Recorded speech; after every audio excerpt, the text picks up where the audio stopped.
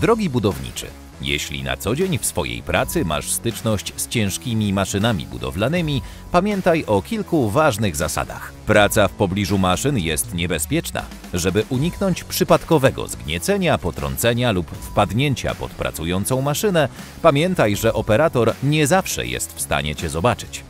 Przed wejściem w strefę pracy sprzętu unieś rękę do góry, nawiąż kontakt wzrokowy z operatorem i upewnij się, że przerwał pracę. W trakcie pracy sprzętu przebywaj tylko poza strefą niebezpieczną.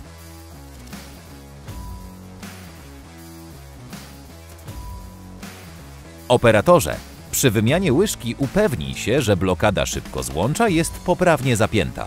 Unikniesz sytuacji, w której zgubisz łyżkę lub ładunek. Ładunek może być przenoszony przy pomocy haka łyżki koparki tylko w przypadku, jeśli posiada fabrycznie przystosowany hak z zapadką. Po zamocowaniu ładunku pamiętaj o próbnym uniesieniu go przed dalszym transportem. Pozwól odsunąć się innym pracownikom na bezpieczną odległość. Zachowaj trzy punkty podparcia przy wsiadaniu i opuszczaniu kabiny. Zawsze bądź przodem do pojazdu i nie zeskakuj.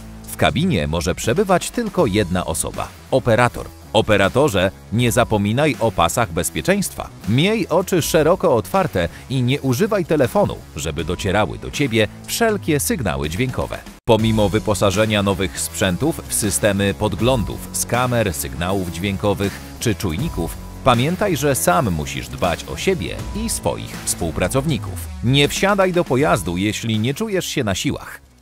Dziękujemy.